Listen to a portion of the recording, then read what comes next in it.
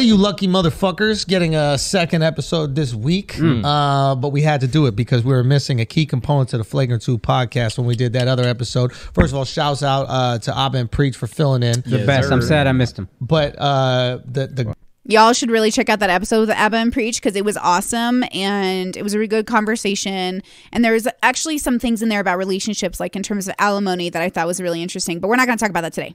God, Akaash Singh was busy trying to get Rogan canceled again. Yo, had to do Um, You had to do it. it. I had to do you it. had to do I it. can't help it. I was listening. Phenomenal episode. Oh, you thank you so much. absolutely killed it. It was so much fun. You guys Thank had this you. amazing rapport. I knew you were going to fucking do great. Thank you. And uh, I went on, and somebody sent me a link, I think, to the group chat. I forget what it was. And it was your fucking smug face smiling ear to ear as Rogan's about to get canceled again because you roped him into kid fucking. Yeah. What the hell did you do? Why would you do okay? that? I truly don't remember? You remember. roped him into kid I fucking. truly don't remember how he got there. Sure, you don't. Wow. Hey, You were man, talking about listen. Subway sandwiches or something like that. How Oh, I think it started with fat people and then Subway and then there and you, you, were go. like, "You're a kid fucker," and then you were like, "Don't you like that, Joe?" Or s- you said something like that. You roped him in. How'd you rope him in?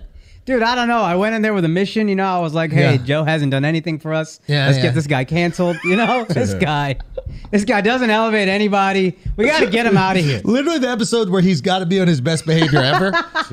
Akaash is out there. So what do you think about kid fucking? Huh? What about when it's a guy who fucked a young a young boy who fucks an older woman? What about that?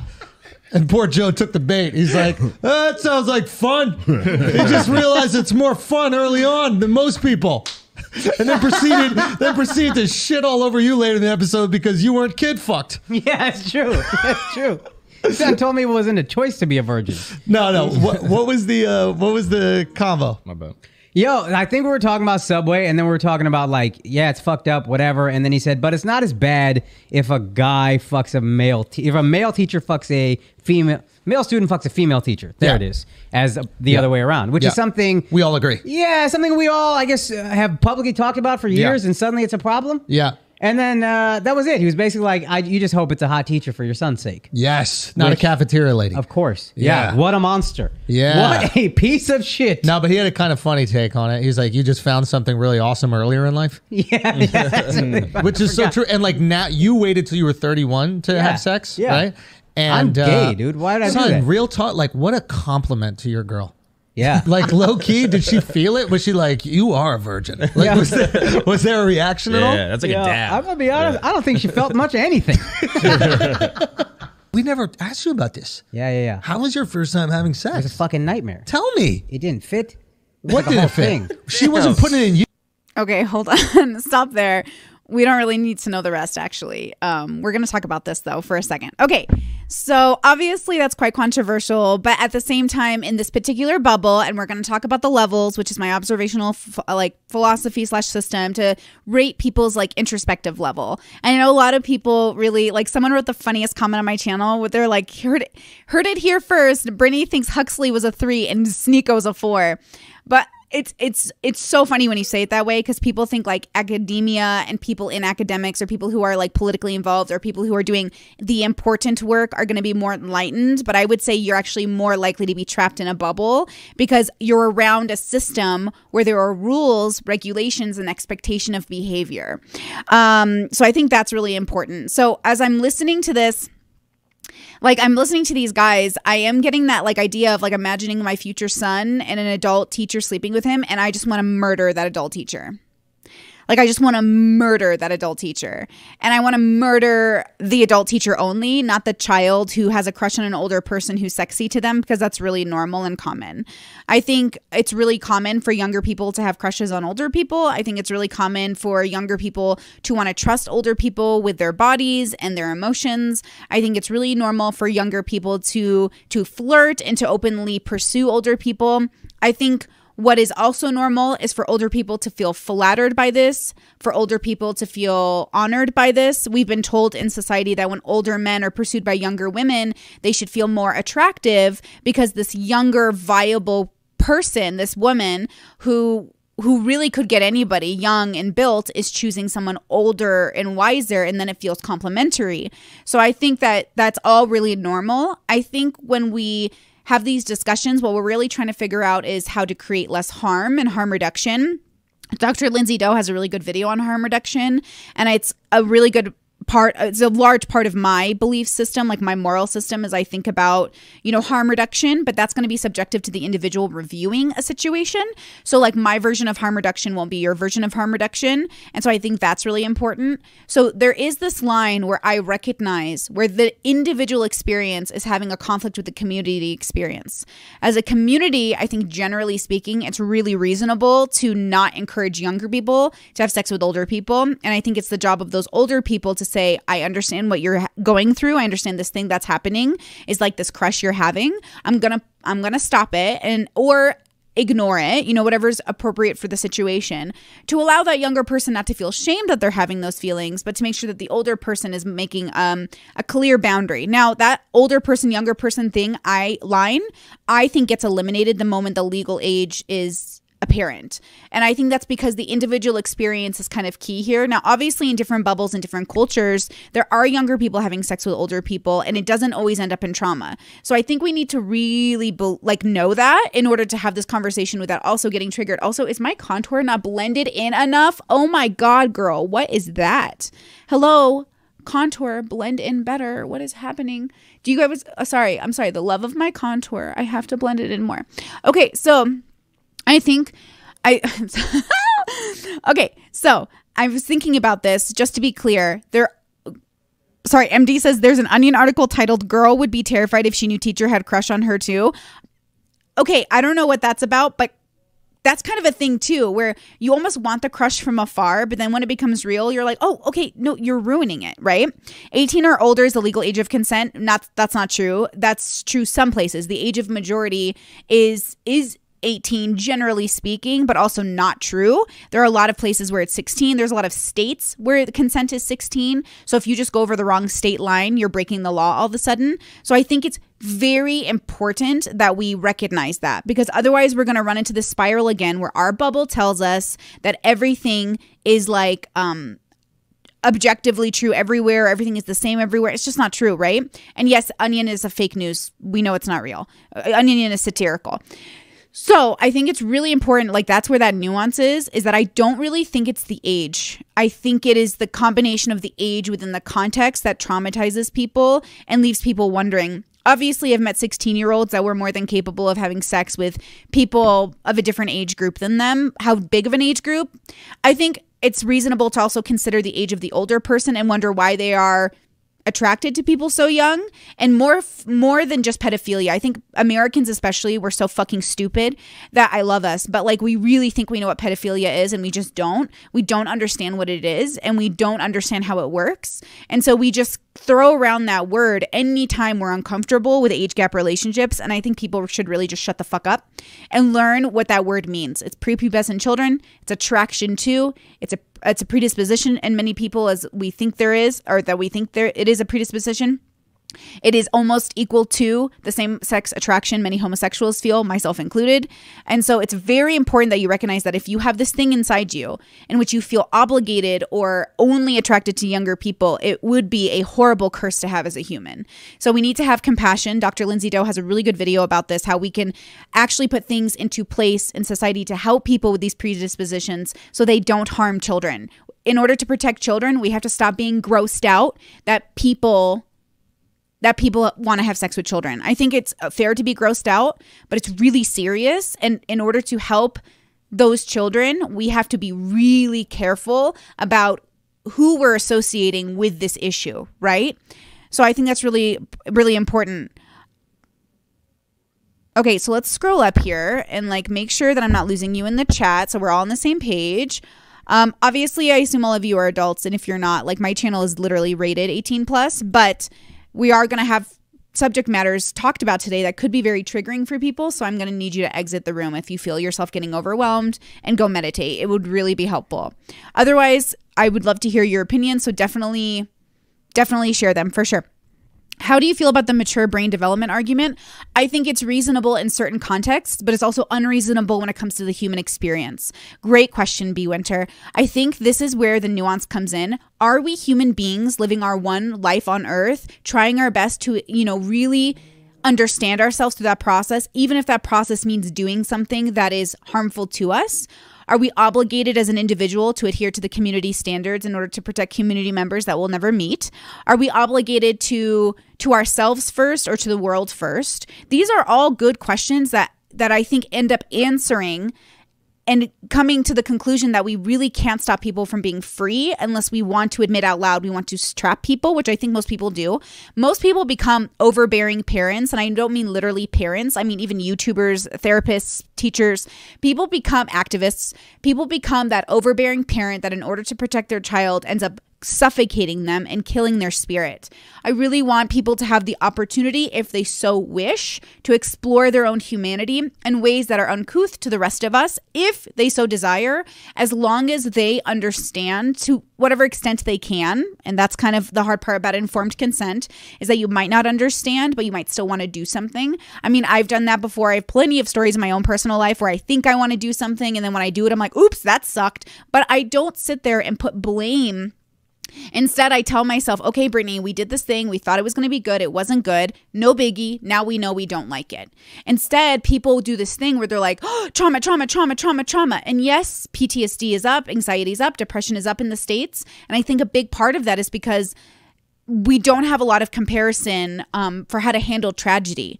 You know, I'm thinking about like suicides or deaths in the family. Like I have tons. I my mom said to me the other day, Betsy, you know, so many people have died on you. And I looked at her and I said, well, that's, yeah, like that's, they, yeah, why are you saying that to me?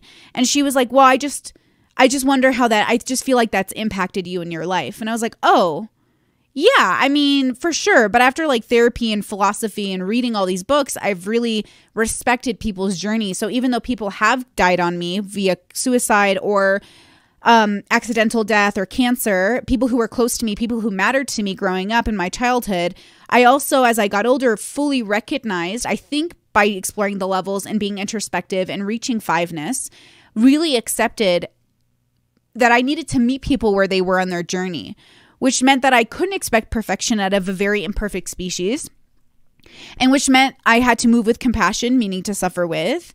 It meant that I had to learn others and especially learn myself.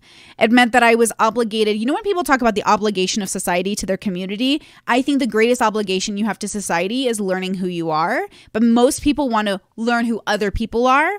They say always in a guise to learn who they are, but the problem is is that we always think we're better than the people we're examining.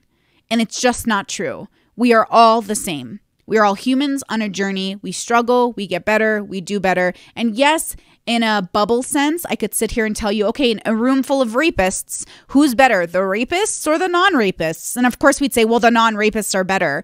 But in terms of our humanity and our journey as a person, we're all the same. We are going to have struggle and conflict. We're going to do bad things and good things. And they're all going to end up landing on a spectrum, okay? So here we are watching Flagrant grown men in a room speaking from a bubble's perspective and speaking from their own desires, though they've never had these experiences of being younger kids who fucked hot teachers, the fantasy, right? And I think the dilemma I have is that, you know, Andrew goes on to say, Andrew Schulz goes on to say that he was 16 and had sex with an 18 year old. And he, great is like he has good fond memories of it. And I believe him. I don't think it's a big deal if a 16 and an 18 year old have sex. Like, I just think that's a very silly denial of the human journey to think that that's not going to happen and that's not going to be okay. It's it's fine. Everyone relax. But for some people it might not be. You're going to have that one 16-year-old who goes, "You know what? Having sex with an 18-year-old was a mistake." And I'm like, "Great, for you it was a mistake. It's not objective."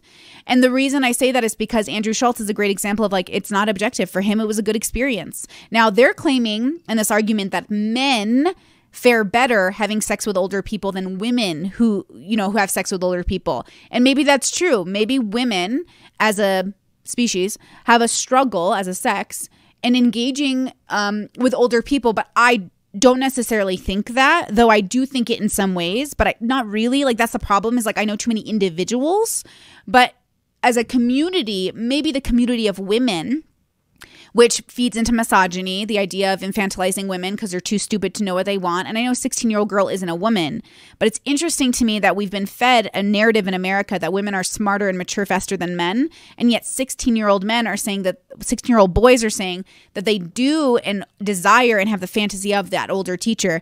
But I wonder how many of them have actually engaged in it because all the people I know who engaged with teenagers or uh, teachers as teenagers were women and they did not fare well and they weren't in good places and those male teachers were either predatory or emotionally stunted themselves or insecure themselves. Like one teacher was a predator like deliberately went out to do it and then one teacher I do believe was in a situation where the teenagers seduced him and picked on his insecurities and made him feel safe and loved and he felt seen by her and they had a physical relationship and i do think those things exist and i don't think it's black and white and i think it's really hard to say out loud uh, Destiny's here. Hey, girl. Mwah! She says, Hey, cutie. Adorable earrings. Thank you, girl. Thank you for the super chat. Appreciate. Appreciate.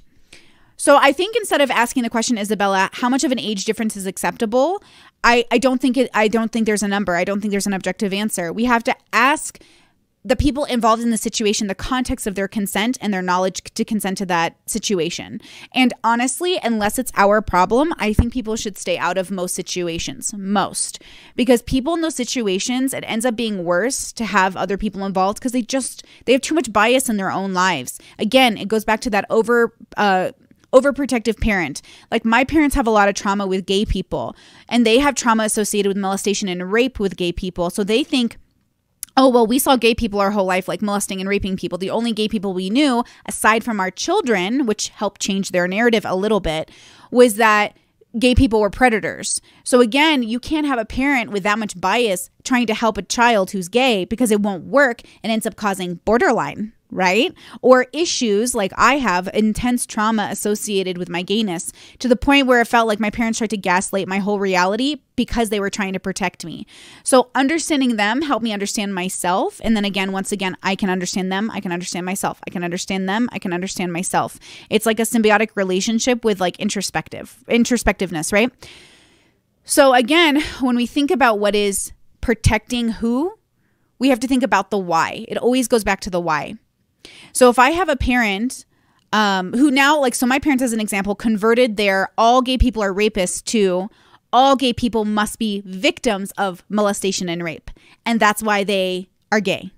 So they converted it to something better when now the gay person is not the predator, the gay person is the victim. And it's still the wrong answer. Right?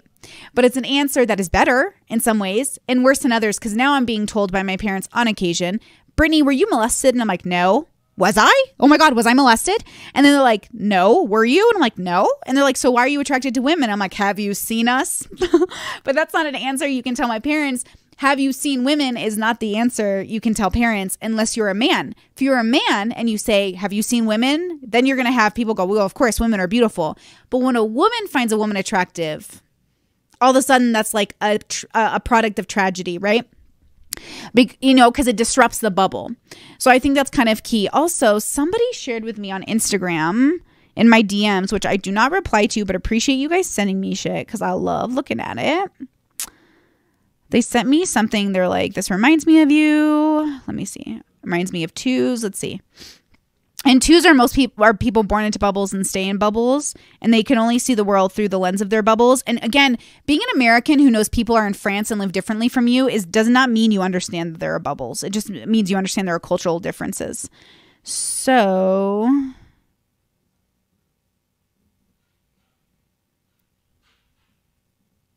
Wait, not this one.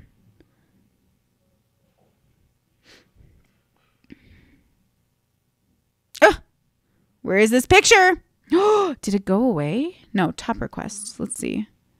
What is this gay? Hold on, people. Wait. Wait. Wait. Here it is. Okay. My bad. It said, um, opinions. Our opinions are like bricks in Montessori. I don't know how to say that word. Each supports and supported by others. Changing a belief means tearing down all beliefs atop it. Such demolition is hard to bear, easier to live with the skewed building, so people will rarely let the one brick budge. Basically, it's trying to say that, like, when you have a belief that's predicated on another belief, that's predicated on another belief, that's predicated on another belief, if you shatter one belief, now you have to question all the other beliefs. It's why two stay in bubbles. It's why it's easier to maintain a belief within a system because the system protects you and gives you a guide. So you have to do less of the introspective work, which is why people look to leaders, which I think I have a passage on leadership students. Let's see, mortality, invisible leaders. So again, we're reading Tao Te Ching. Invisible leaders. If a ruler lacks faith, so will the people. Un- unruly, I'm sorry. Uh, oh my God, dyslexia. Unworthy rulers are despised. Common rulers are feared by their subjects. Good rulers win the affection and praise of their subjects. But when great rulers lead, the people are hardly aware of their existence. When listen to that, when great rulers lead, the people are hardly aware of their existence. How carefully wise rulers choose their words, how simple are their actions. Under such a government, the people think they are ruling themselves. Okay. I think like when we think of what a leader is and what a ruler is, what a king is, what a helpful queen is, what any of these things are, we're only doing it with the constraints of our bubbles and what we know about the world. Valid. Totally fair. Makes a lot of sense, right? We're not talking shade on people who live in bubbles. Twos are perfectly good people. Everyone is helpful. Everyone teaches us something, right? I think when we go, um, into situations in which we are debating the individual versus the collective, it is a much harder conversation than just the community. I always hear from people who are like, I'm helping people. I want to help people. I want to save people. I want to help people. I want to help people. And it's like, yeah, yeah, yeah, okay, okay, okay, okay. Where are you in that hierarchy of helping people? Are you people? Who's going to help you? And they go, well, other people should be helping me. You need to help yourself. And that is a much harder challenge to the individual than than distracting yourself with helping other people, right? Okay, hold on. Wait for it. So Stephanie says that I had a crush on a bunch of my teachers, but one of my friends actually had a relationship with one of the teachers I had a crush on. I was curious about all the details, but felt scared for her. Honestly, I would feel scared for her too, and I think I'd be I'd feel like worried about just everyone's emotions in general. He did get fired, Stephanie said, which is good because at the end of the day, we can't have adults mingling with students who are minors. Like that's just an outrageous power like it's an outrageous use of power. Actually my sister because she's a teacher she and i have been talking about this. My sister purposely dresses more modestly and tries to look less attractive because she's teaching high schoolers and the boys have already made comments about her. They said to her hold on they wrote a note to her that said something like she, something like she might not be a good teach but at least she got that peach. And i was like ah like my sister's a great teacher. Like everyone loves her, but these boys are like the rowdy boys who like they like want to create havoc in her classroom and she just thinks they're funny. And then there's some boys who are like have crushes on my sister and obviously bring their friends around to see the hot teacher. So after those incidents, she started dressing much more modestly because she didn't want to be a sex symbol as a teacher for her students. There is this guy on TikTok who's like a hot teacher and I don't trust him. Like he knows he's attractive he goes to school looking like that with a bunch of horny teenagers, and a part of me doesn't approve.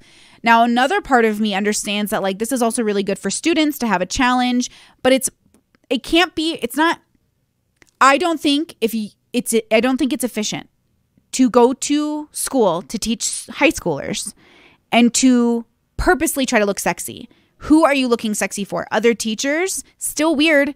Because, like, you teachers don't need to look sexy. That's not how that goes. But outside of school, you can be sexy. Outside of school, I don't even care if a teacher is a stripper. But in school, on campus, I think I do raise an eyebrow when teachers try to be sexy because I'm like, for who are you being sexy for, my homies? And I think that's super inappropriate. But some people think it's fine. Some people think people think it's good. Maybe we should all be going to school sexy. Maybe should be like Euphoria, which I have not really seen. So I don't even understand my own joke that I made just now. Okay. but, anyways, um, Luna says, uh, girl attraction to a minor is not okay. That's the spectrum of pedophilia. 16 or not, it's not okay, especially with the power imbalance. Again, pedophilia is prepubescent children. So I will not allow any argument in this Discord or this Discord, this chat that does not understand that because it's really fucking up how we're having this conversation. After puberty, there is a specific biological thing that is happening to us because we are animals evolved over time. And to deny that is to deny our humanity. To deny the fact that I was a horny ass kid is to deny the reality that I was already fantasizing about adults. And I did need those adults to be like, mm because it really helped me understand the appropriateness of my attraction. How the attraction itself wasn't wrong that I was attracted to older people, but engaging in it would have been inappropriate given right? That they were not at that stage in life. They were on a different journey. So I have to think about my not only my consent, but the consent of the older person. You know what I mean? First of all, shouts out uh, to Aba and Preach for filling in. The best. I'm sad I missed him.